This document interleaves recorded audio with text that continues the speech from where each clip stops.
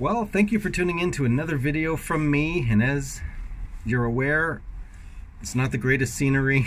And yes, I know I'm a talking head, as you see. Uh, but let's just get right into episode 3 about the Pentax K3 Mark III AFC. All right, so to kick things off, we're going to use full auto active area, and we are going to switch this to type 1 for both the autofocus and auto exposure sensors to be tied in together to get the full proper way of uh, subject recognition working. And we're going to start with stability mode uh, for the AFC. Now, stability mode in AFC is basically uh, basically used for smooth, consistent movement of subjects, such as cars, trains, bicycles, people walking, things like that. Now, listen to the lens re-driving as I move toward and away from bodiless Bella. Remember, this is stability mode. So right now I'm not moving at all. And you hear nothing. Oh, there we go. A little bit. So you can use this as I have in regards to AFS and AFC. So you don't have to toggle back and forth because it is stable enough to stay in focus when the subject is not moving. Now I'm going to start moving forward and back and just listen carefully to the lens driving.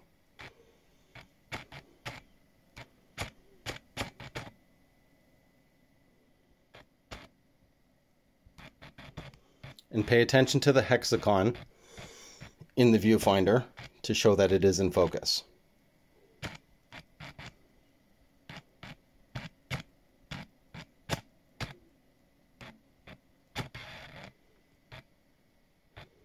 So as you can tell, it's pretty stable. Now, let's get some real movement going here.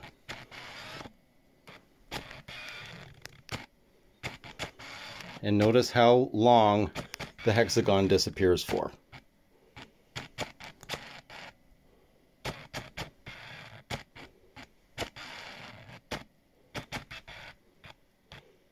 Now let's switch over to full trackability mode so you can see the stark difference between the two settings. All right, let's go to full trackability here. And now listen to the lens as I don't move, literally don't move. And you can still hear it driving just from the slight variations in my hand movement. Now let's start moving forward and back. And again, pay attention to the hexagon and listen carefully to the lens driving.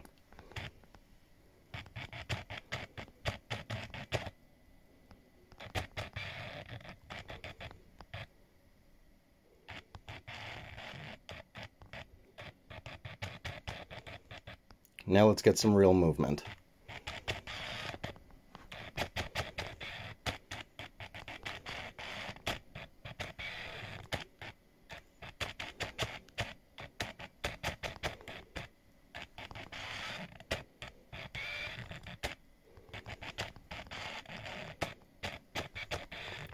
However, the hexagon does not disappear for nearly as long as it did with stability mode.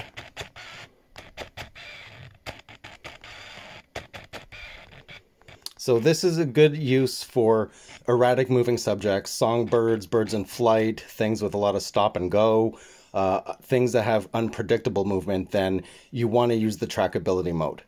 Now let's get out of full auto and uh, use the expanded actually, before we do that, let's change the other autofocus mode.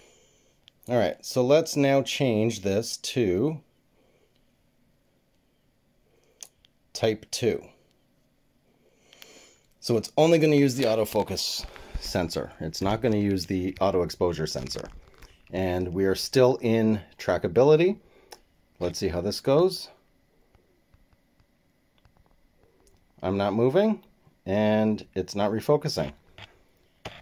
Now let's get a little bit of movement in.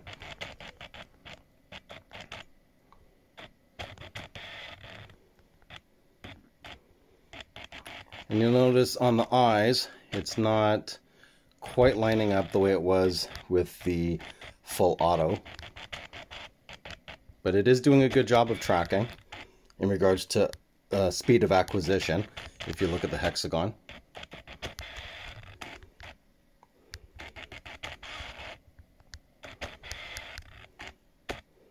Okay, and now let's turn stability mode back on in the same type 2 autofocus. Uh, so it's only using the autofocus sensors, and we'll see how much of a difference that makes.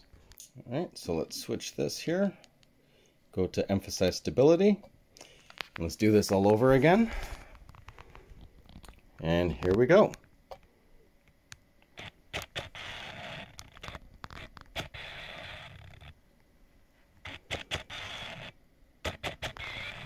As you can hear, it's not incrementally switching, right? It waits.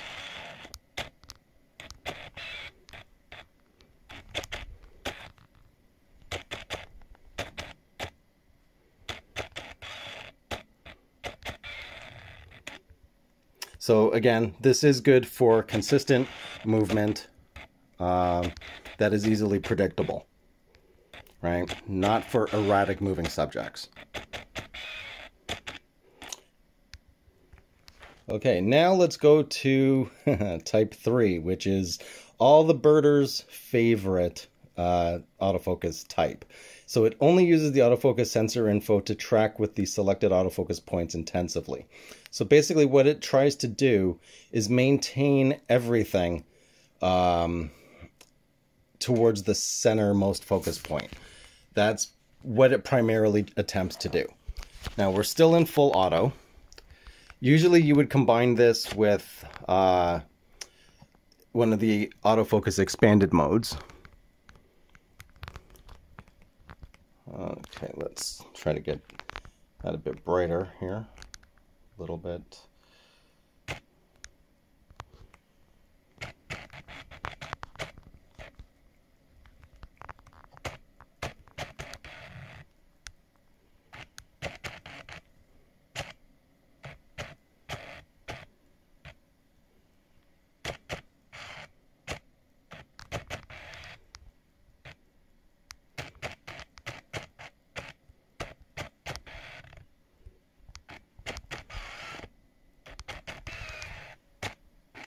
So as you can hear, it's basically tracking in real time.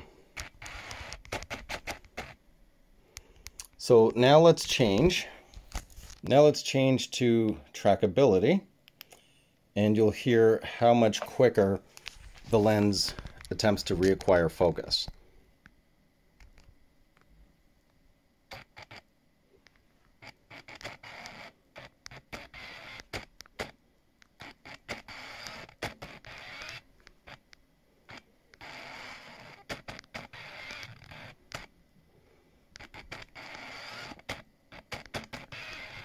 So although stability mode did seem to be focusing pretty much in real time, this is more sensitive to any movement.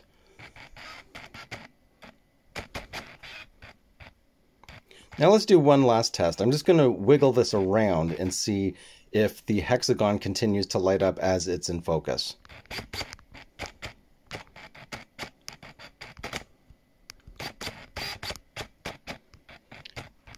And as you can see, it is doing a pretty good job of maintaining that it is in focus.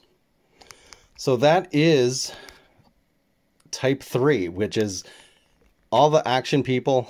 that is our go-to in regards to the newfound capabilities of the Pentax K3 Mark III when shooting AFC.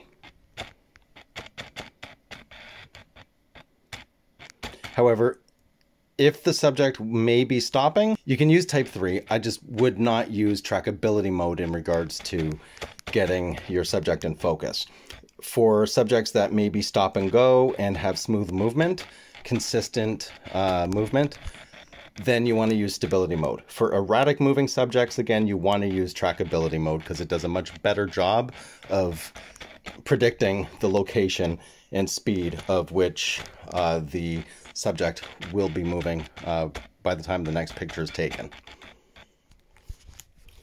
Okay, now here is my default setting for when I'm out doing bird photography, even though Bodiless Belle is not a bird. But what I do is I use uh, trackability mode, so type 5, uh, and I use type 3 autofocus, um, which as you can see here, I do have it on expanded. I'll just show you here. So it is on expanded, but you see those red areas? that is where it's primarily going to try to maintain focus. So if I focus,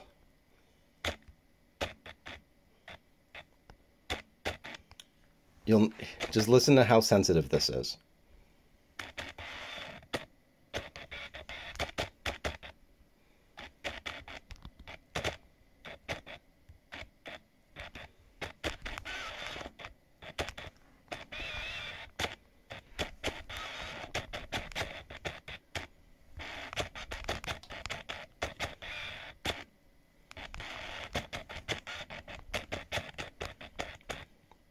Right? However, in regards to reacquiring focus, it is very quick. So that is AFC in regards to which mode to use for your subject. So there you have it. That is uh, basically not even scratching the surface on the Pentax K3 Mark III AFC. So I do understand that there are a lot of people that have run into frustrations in regards to utilizing the camera and not getting the images that they expect when they're using AFC. But as you can see, there are a lot of different parameters that can totally change how the camera reacts to moving subjects. So I'm hoping that the breakdown of this video uh, does help you better understand what the different parameters actually do in real world usage. Uh, if you have any questions about any of this, let me know. Uh, it may require another follow up video to further go in depth in regards to these various settings. Uh, my original plan was to actually go out and try to do real time scenario of shooting while filming through the viewfinder, but that proved to be extremely difficult. So uh, I had to just settle on a controlled environment, hopefully getting the point across.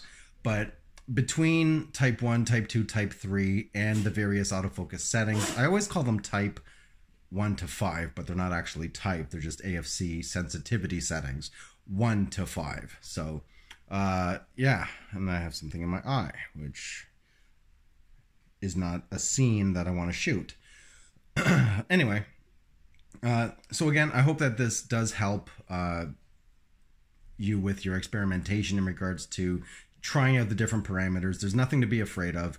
Try the different parameters for your specific subject. So, things to keep in mind sensitivity mode, or sorry, stability mode, not sensitivity mode, stability mode. That is for smooth, predictable moving subjects. Uh, you know, people on a bicycle just riding by at a consistent speed uh, cars, motorsports, if they're not at like a braking area, they're just going to be going consistent speed across the track. Uh, you know, just basic traffic, people walking, things like that. Unpredictable subjects, then you absolutely want to use trackability mode. Now, depending on your subject, you really do need to think is that a predictable movement that'll be happening or it, will it be an unpredictable movement? And you need to adjust your settings accordingly. The only caveat with that is the stability mode works very very well if you want to track a moving subject that may end up becoming still. Reason being is it doesn't incrementally change the depth mapping as often as it does in trackability mode. So if you are shooting a subject and they, like for example, a bird, the bird's coming in and it lands on a tree, it's no longer moving. Stability mode would be the mode you would want to use for mixed situations like that. It will keep the autofocus stable. That's basically what it means in a nutshell. Trackability mode it is better at tracking unpredictable subjects. Right in the smack middle of all those different settings, you have just your standard mode, which is in between. It's not super great for erratic tracking, but it's not terrible in regards to being able to reacquire focus either. So you really need to be aware of the situation you'll be shooting in. And again, don't be afraid to experiment, try out all the different options and things like that. Uh, my suggestion if you don't need the subject recognition, uh, in other words, if you're not shooting a human being where they have eyes, you're going to be shooting uh, subjects such as birds, apparently. The subject recognition recognizes birds. It doesn't do eye autofocus on birds, but it will recognize birds. So you can use uh, type 1 to tie the autofocus and auto exposure settings together uh, with the subject recognition on. It will recognize birds apparently, and uh, you can try from there. My personal experience, I always have the best results when I use expanded large or expanded medium in regards to uh, the way I shoot. Uh, with trackability mode on, so uh, number five, and the autofocus type as type 3. So it's intensely tracking the subject, primarily using the centermost point as the depth map, uh, you know, and then tracking from there. So those are my suggestions. That is pretty much what I shoot and how I get the results that I get. Uh, again, if you have any questions or comments, you want me to further deep dive into this, let me know in the comments below. Uh, thank you all again for the support over the years. Really do appreciate it. And if you would like to support more, the info's in the description. And uh, yeah, that's going to be it. I'm going to go. I'll catch you on the next video. I'm out.